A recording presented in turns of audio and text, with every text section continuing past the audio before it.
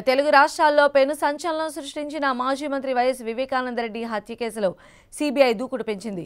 ఇప్పటికే పలువురిని అరెస్టు చేయగా ఒకటి రెండు అరెస్టులతో ఈ కేసు దాదాపు కొలికి వచ్చేస్తుందని తెలుస్తోంది.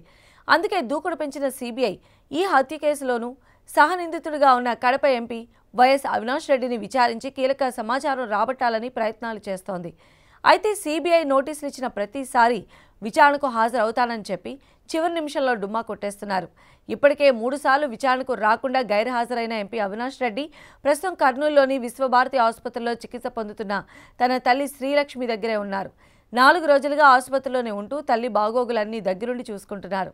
అయితే అవినాష్ ఆసుపత్రిలో ఉన్న ప్రతిరోజు అదిగో సీబీఐ వచ్చేసింది ఇదిగో అరెస్టు చేసేస్తున్నారనే మాటలు వినిపిస్తున్నాయి. కర్నూలు వేదికగా ఏ క్షణం ఏం జరుగుతుందో తెలియని పరిస్థితి. ఈ క్రమంలో పులివెందల నుంచి భారీగా అవినాష్ అభిమానులు అనుచరులు వైసీపీ కార్యకర్తలు నేతలు కర్నూలుకు తరలివచ్చారు.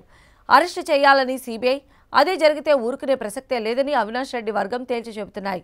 అవినాష్ రెడ్డిని అరెస్ట్ చేయొద్దంటూ విశ్వభారతి ఆసుపత్రి దగ్గర రెచ్చిపోయిన అనుచరులు కార్యకర్తలు ఇప్పుడు సెంటిమెంట్తో కొడుతున్నారు.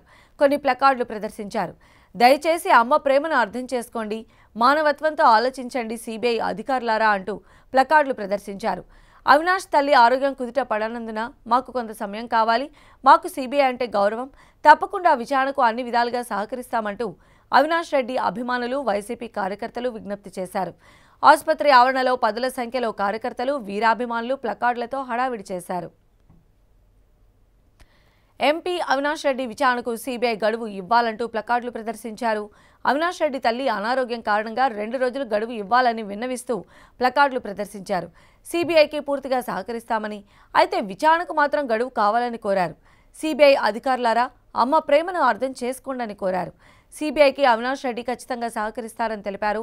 తమ ఆందోళనను వైఎస్ అవినాష్ రెడ్డి ఆందోళనను కార్యకర్తల మనోభావాలను సీబీఐ గుర్తించాలని విన్నవించారు.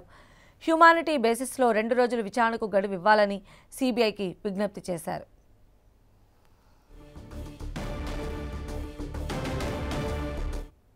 ఈరోజు మేము సిబిఐ వారికి రిక్వెస్ట్ చేస్తూ ప్లే కార్డ్స్ పట్టుకొని హ్యుమానిటీ చూపించండి. వాళ్ళ మదర్ ట్రీట్మెంట్ కోసం అవినాష్ గారికి టైం ఇవ్వండి అని ఈరోజు అక్కడ ఉన్నటువంటి కార్యకర్తలు నాయకులందరూ కూడా ప్లే కార్డ్స్ పట్టుకొని సిబిఐ వారికి రిక్వెస్ట్ చేయడం జరిగింది.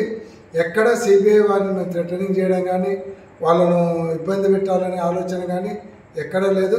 సిబిఐ వారిని మొదటి నుంచి కూడా రిక్వెస్ట్ చేస్తున్నాం అటు అవినాష్ గారు కానీ మేము కానీ సిబిఐ వారికి రిక్వెస్ట్ చేస్తూ ఉన్నాం.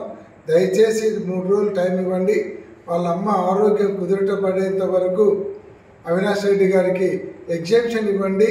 తర్వాత మీరు ఎప్పుడు పిలిస్తే అప్పుడు వస్తాడు.